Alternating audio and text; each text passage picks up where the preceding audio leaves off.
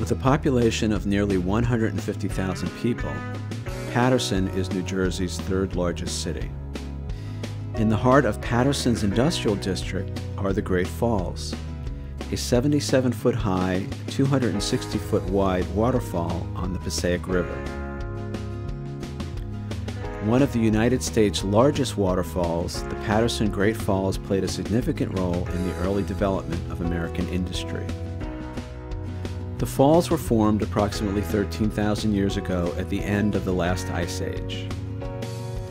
As the glaciers receded from present-day New Jersey, the Passaic River swelled and carved these spectacular falls through the underlying basalt rock. Up to 2 billion gallons of water flows through the falls each day. Originally home to various Native American tribes, in 1690, the area was settled by the Dutch. With the birth of the American nation, the falls presented a huge source of untapped power. In 1791, then Treasury Secretary Alexander Hamilton led an initiative to harness the power of the falls to support America's burgeoning manufacturing industry. He commissioned civil engineer Pierre Charles L'Enfant to implement a system of canals known as raceways, which fed a series of water mills. In the 19th century, hydroelectrical power from the falls enabled Paterson to expand the breadth of its industrial activity.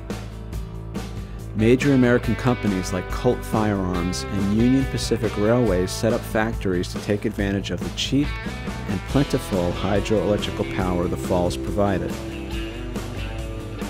Today, Paterson remains a center of manufacturing activity in the Northeast. The Great Falls became a national landmark in 1967 and the adjoining power plant became a historic civil engineering landmark in 1977.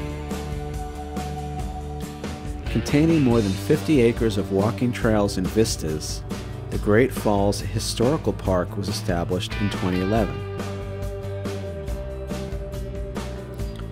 The park's mission is to preserve and protect the heritage of the falls while providing educational and entertainment programs about the area's history.